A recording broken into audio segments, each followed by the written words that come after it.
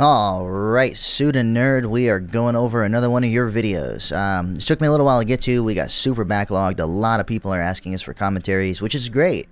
Um, we're just getting to as many as we can, as often as we can. So, let's play this out. Suda Nerd is the guy on the left, the beautiful bald badass. Need a little louder than that. Alright, what happens here? Okay.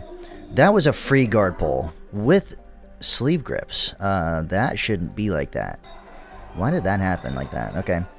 You hesitate. He walks at you, and the first thing you do is, oh shit. Okay, if you'd have just, like, been in a stance ready to shoot the first time he did this, you blast him, he's down, and you get the two points off this, and you're in a much better position to pass than slowly reaching out for him, letting him grab both of our sleeves, and then he gets to pull right away to whatever guard he wants to go to because sleeve control is that dominant. So it's like your idea of walking around to the side like this has no chance of ever working when he has this far sleeve control like that because he's always going to be able to go lasso. Okay, so now he's got a deep lasso and we're in a terrible spot he could right now very, very easily invert under us and omoplata us, okay? Or in the process, sweep us over to the far side. Um, we are in, we're in trouble.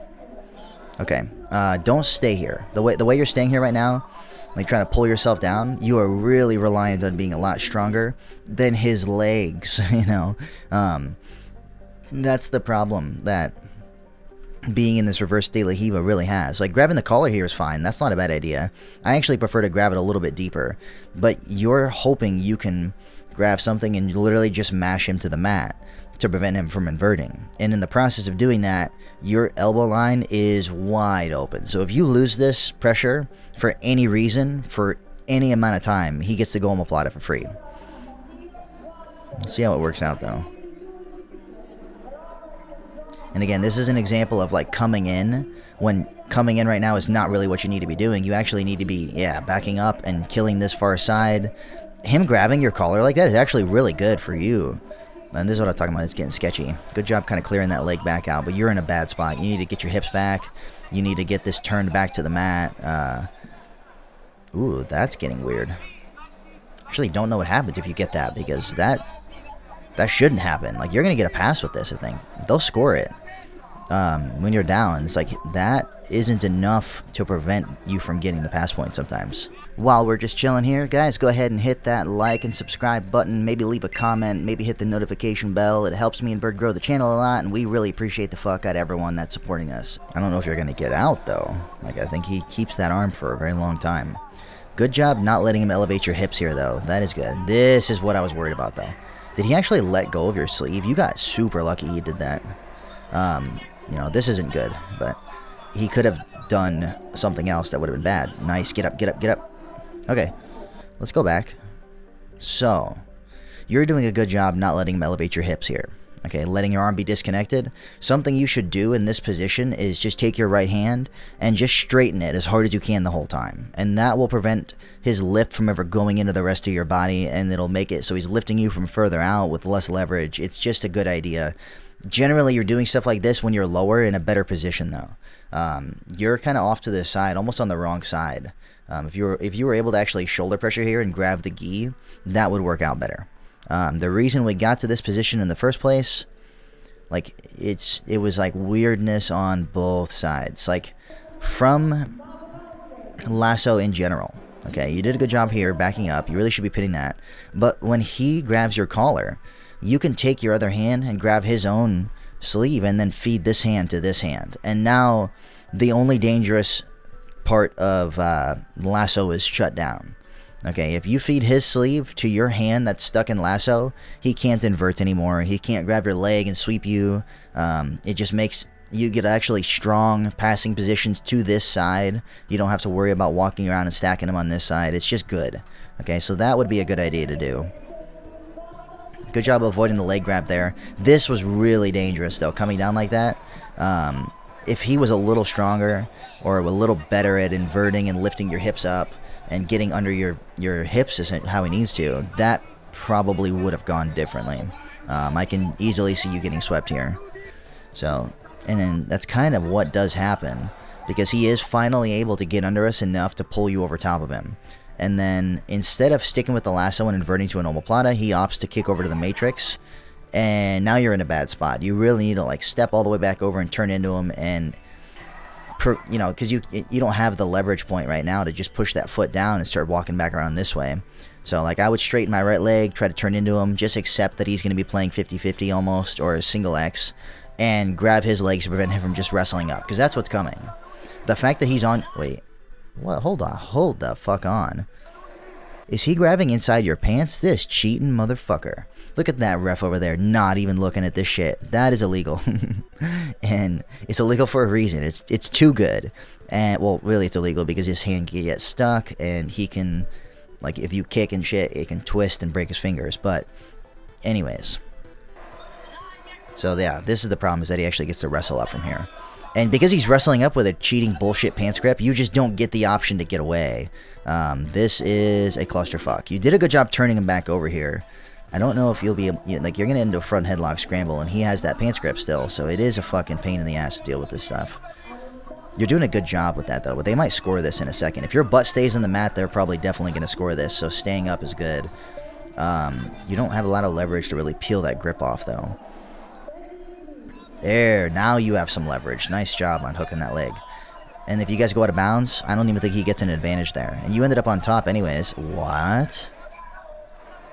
Oh, no, he got an advantage for just almost sweeping you in general, not for going out of bounds, so. It's a fair advantage. If only the ref had watched him grab inside your pants, though. None of that would have happened. Okay. Good entry. Um, you should be ready to switch to a leg drag here. Your hand is in the wrong position. Okay, so what? Well, let me play this and see if you get something off this first before I start talking shit about it. Ooh. Ooh, that was a lot of pressure to get that down. Okay. I'll point out what I would have done differently, but what you did actually worked. So take everything I say with a grain of salt there. All right. I like the aggressive attempt at passing off of his pole. I think that's fantastic, and you do it really, really well. Um, it is hard for you to actually get all the way down, though, before he can kick his little flexible ass legs over. Okay? And you're trying to stay underneath his head, his leg right here, which is why you feel like you can keep pressuring in, which is good. I would have probably just switched to a leg drag, though. Like, instead, I would have uh, took my... I think it's your... You would have had to catch it with your left arm, which is actually on the collar. No, I think you just might have made the right call in general. If his leg had gotten in front of your head again, I would tell you to switch to a leg drag for sure. But because, okay, now I would probably really think about it, but you were able to turn to north-south, so now your pressure is going into his hips. So now you just made the right call across the board. Um, good job. That was a good, good pass finish. Good recognizing what was going on, too, and following it through. Okay, his legs are in a sketchy position. Um, there's a really good chance he kips and gets a little bit of space and starts putting it, yeah, putting his foot either in somewhere or hooking something and lifting. So let me let me show you what you should have done to prevent that, okay? So in these north-south positions where people are trying to bring their legs up and over your back, all right? You need to have low forward pressure. Your shoulders are what are going to put his legs back down. So instead of just thinking about sprawling backwards, which you, you uh, really should not do at all because that just frees his hips up. You should get as low as possible, almost chest to chest, and start to walk forward until you feel your shoulders connect to his hips somewhere. And then your forward drive is going to take his legs and put them back onto the mat because your pressure is going into his hip flexors here. Okay, and that would have prevented that. And then if he tries to kick back up and over again, you can look at whatever angle he's kicking up at and then walk around behind it, and it's not an issue. Once he does get that belt hooked, though, you are probably losing this position. You got to think about what's the follow-up pass now. It is hard to just clear these kind of hooks. There's so much pressure. But this wouldn't be a bad um, scenario to just kind of back out completely and try to leg drag him again. Like the fact that he's crossing over like this, um, I think there is potential for you to get off your fucking knees. Everyone out in the world, get off your knees, please. And, you know, back out and drag that to the side. I don't know if his right leg would prevent the crossover though. It might because of he still has that fucking annoying foot to belt grip.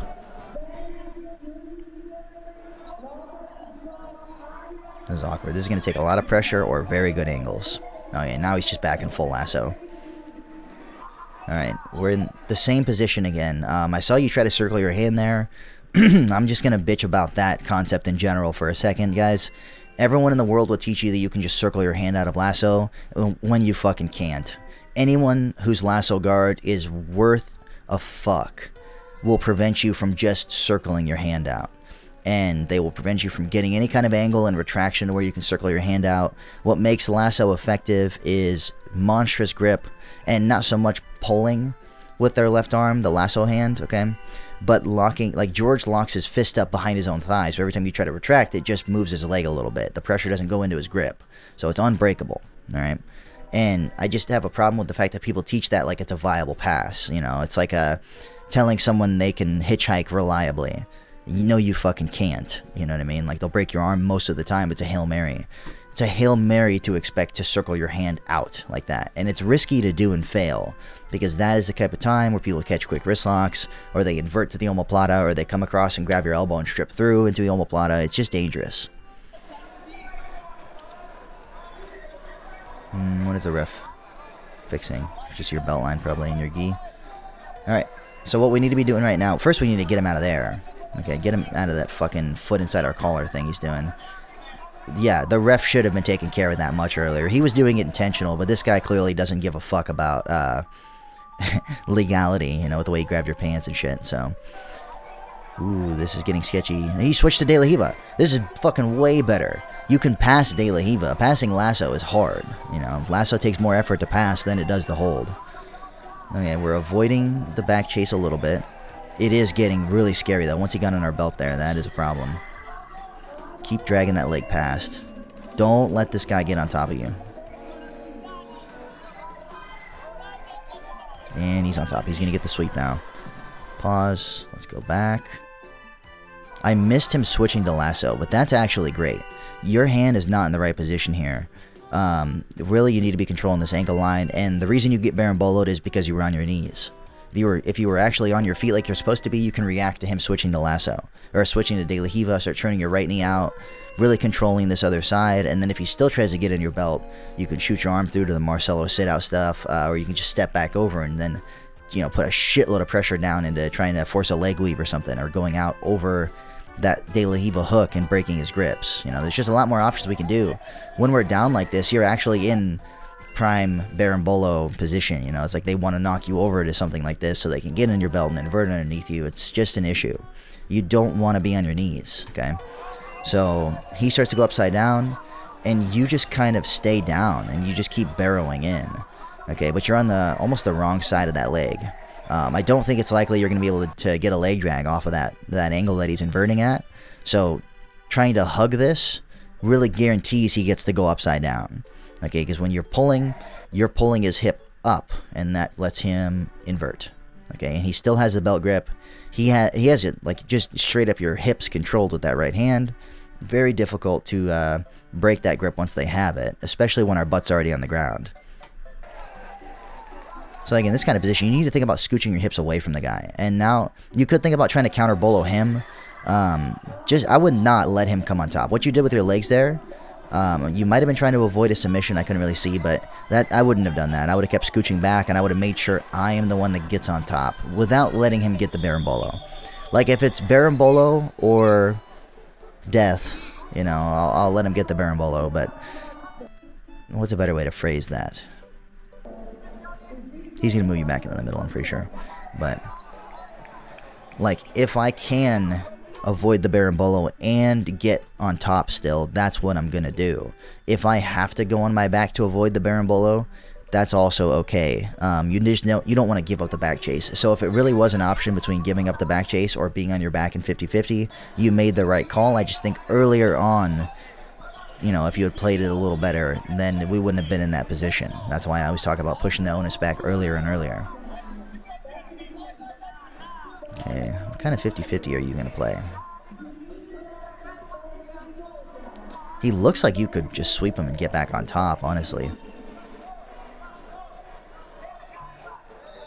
You kind of barely have his knee line, though, and that's a little risky.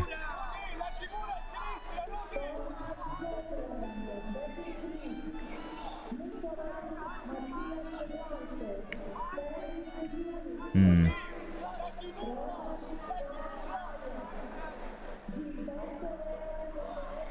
The way I play 50-50 is, you know, I make sure I get on top when I'm in 50-50 because I am pretty hard to sweep or get my back chased. I trust my ability to pass 50-50 from on top.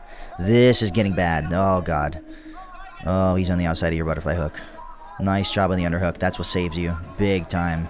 Very well done there. You, uh, you just avoided certain death with that underhook you did. Why did that happen? So, here's okay.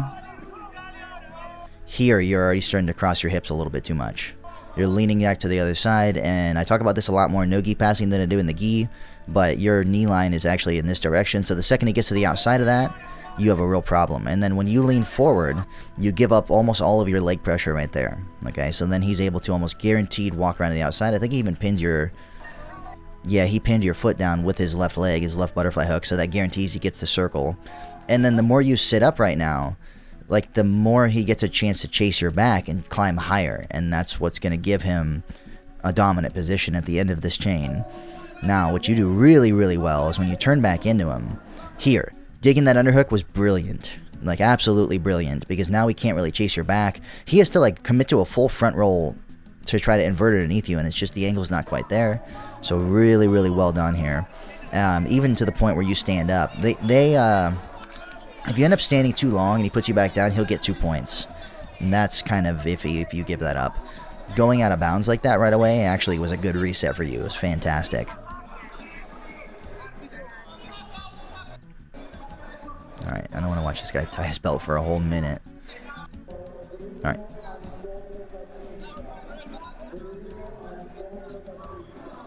Again, you see, he pulls right into uh, lasso. We need a hand fight way more. If you know people want to lasso you, something you can do is just try to get control of their sleeve instead of letting them control your sleeve. And they'll still kick over for the lasso, but when they do, I make sure my hand is on the outside of their hand.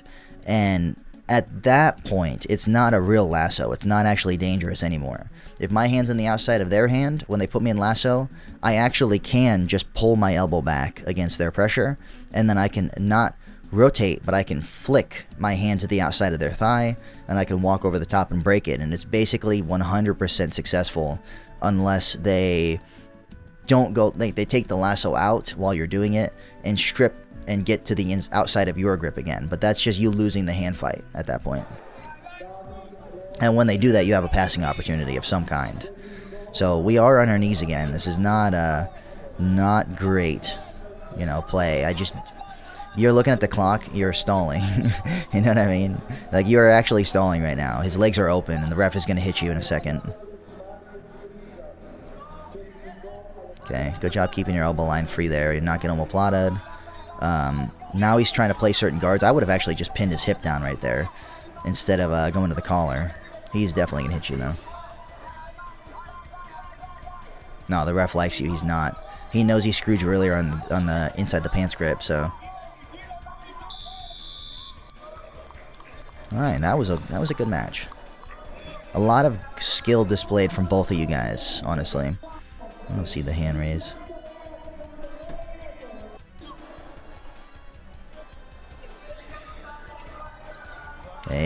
You go. So I don't actually really have that big of an issue with you stalling at the end because uh, it's like you were up by a point. You knew you were up by a point. It, it just makes sense to kind of hunker down a little bit.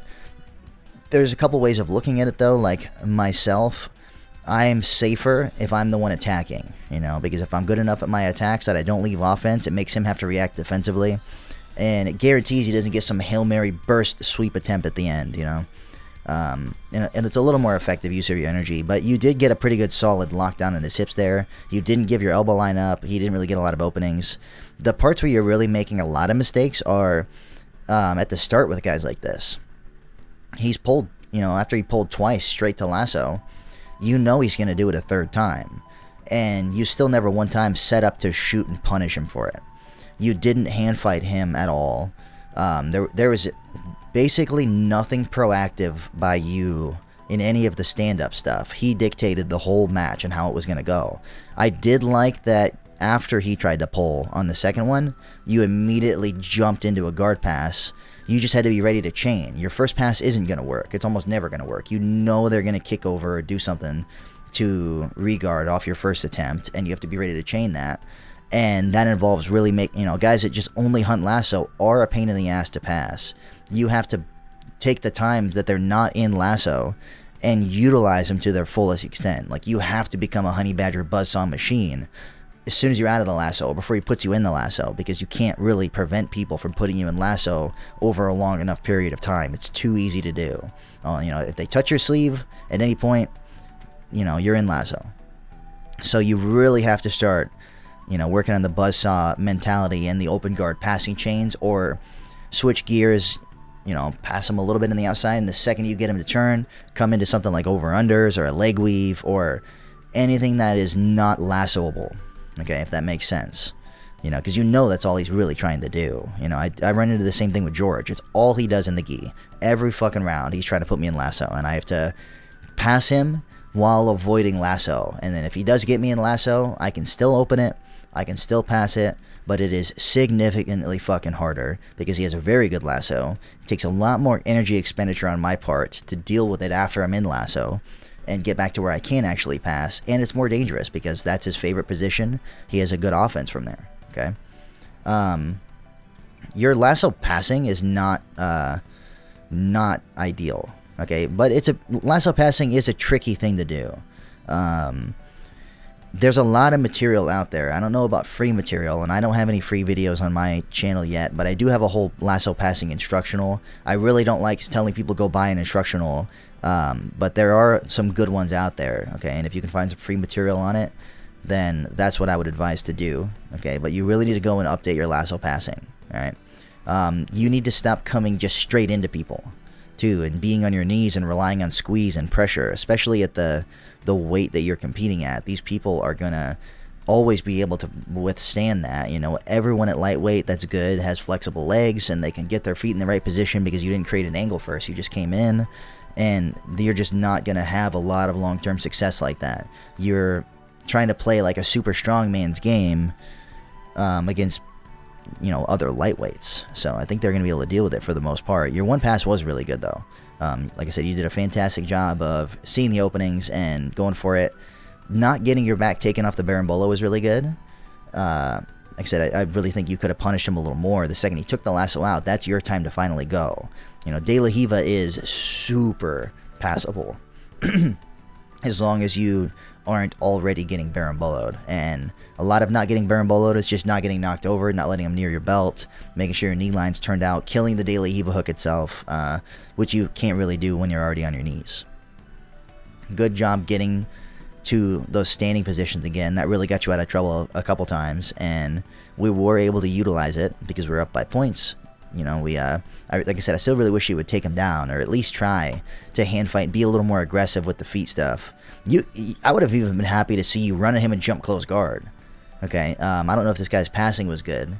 Um, well, actually, I do know it was actually pretty decent because he almost did pass you that one time in a pretty technical way. So maybe going to guard wouldn't have been a great idea, but you, it's just like you know exactly what he's trying to do and you can plan around it, you know, in ways that make sense, like attacking him right away, shooting, uh, maybe going close, like sliding into something, wrestling up on him right away. There's just options, but you did win the match. Fantastic job. And if anyone wants me to comment on one of their matches in a similar way, okay, you can check out the Patreon and the Discord links below. Come hop in the channel. Me and Bird talk a lot. Too much. you know, we get in the voice chat sometimes. We answer questions about technique and uh, all kinds of shit like that. Otherwise, guys, everyone have a good day, and remember to eat your Panda Express. Bye, have a great time.